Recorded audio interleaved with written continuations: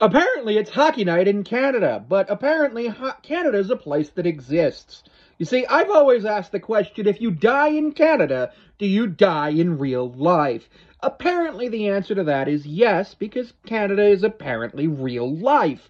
Yet, I've never seen any any evidence whatsoever of this Canada thing.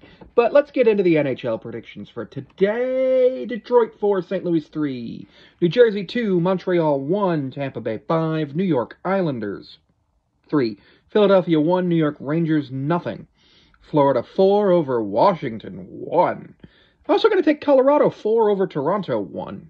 Just, yeah, two 4 to 1 games sounds fun. Uh, Las Vegas 6, Ottawa 5, Vancouver 4, Boston 2, Carolina 4, Boston, Dallas 3, Edmonton 7, Calgary 3, Seattle 5, Minnesota 4, Nashville 6, San Jose nothing, and the Kings 8 over Anaheim 1. I'm 512 and 382 through 894 games, 13 games today, total of 907.